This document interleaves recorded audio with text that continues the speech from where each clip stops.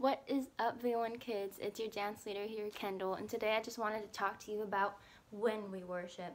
In Psalm 71 8 it says, My mouth is filled with your praise, declaring your splendor all day long. All day long, boys and girls, not just once a day, not just once a week, but as much as possible. We are declaring, we're not confused, we're not questioning your glory, and we're not just saying, like, oh yeah, like God blessed me. But we're declaring it because we take pride in the fact that our God is blessing us and we thank our God and we are declaring His sovereignty, His love, and His care for us all day long.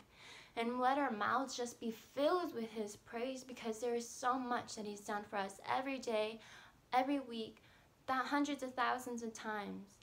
So your challenge for today is just to be thankful, and I'm going to say be thankful at least once an hour. Declare it out loud that you're thankful for something once every hour, and I encourage you to do even more than that.